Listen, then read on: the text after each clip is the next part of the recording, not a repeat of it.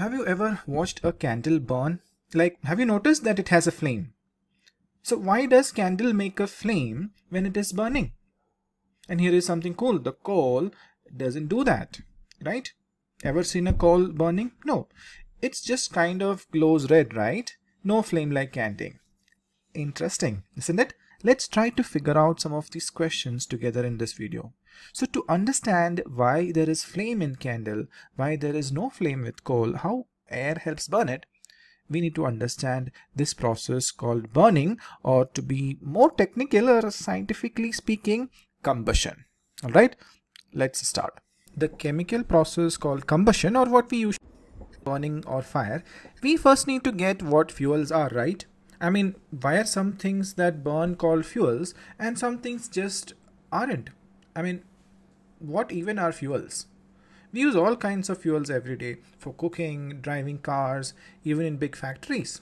At home, we might use LPG, that's a liquefied petroleum gas, wood, or even cow dung in some places, right? In factories, coal and diesels are super common, and in cars, well, they use will they usually run on petrol, diesel, or compressed natural gas. Now, all of these burn, right? So then you might be thinking, paper also burns, candles burn too. So why aren't we using them as fuel? Any answers? Like think for pause for a minute and think why aren't paper not used as fuel instead of LPG? Or why can't we stuff the paper inside our petrol tank in a bike, burn it, start running? Good question, right? Yeah. Here is the deal. The answer is all about energy. Fuel gives off a lot of energy when they burn. Like even a small amount of fuel can produce a big amount of heat. Super useful, right? But with something like paper, you burn the same amount, you get barely any heat. Not really efficient, right?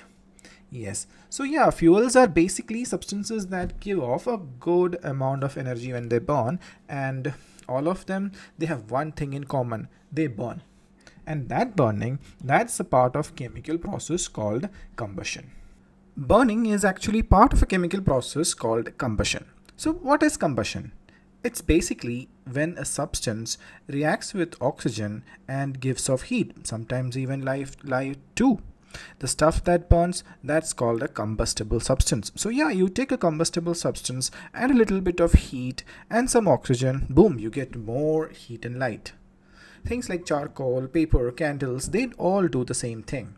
To burn charcoal, paper or candle, you have to keep it in air and maybe give a little bit of heat, right? They burn in air and give off heat and light. Simple as that. Okay, so let's get back to our original question. The big mystery, why does a candle burn with a flame but coal kind of glows red? What's going on there?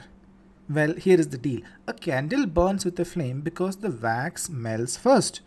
The solid wax melts, rises through the wick, vaporizes to the gaseous state, and the vaporized wax reacts with oxygen during combustion. And you get a flame. Now coal, coal is a solid fuel. Coal doesn't vaporize, it doesn't melt and turn into gas like wax does. Instead, the solid coal undergoes combustion, meaning it just burns as a solid, giving off heat and stuff like carbon dioxide and smoke. But since it doesn't vaporize, it doesn't make a flame. So we can conclude that substances that vaporize burn with a flame and substances that don't vaporize burn without a flame. Next time you see a flame, you will know, yes, there is some vaporized substance burning in there. Like uh, if you see a hot red iron rod, it's glowing for sure, but it's not burning, right? Why? Because it's not turning into a vapor. Make sense? Right. Alright, uh, so we can summarize what we have learned in this video. So we know what fuels are. Fuels are those substances that burn to give significant amount of energy efficiently, right?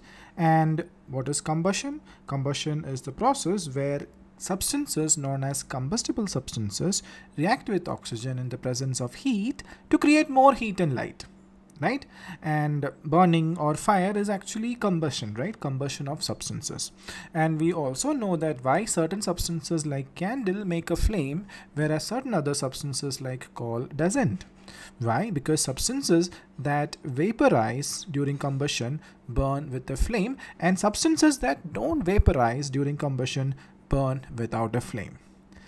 Now, I want you to look at this activity. All right.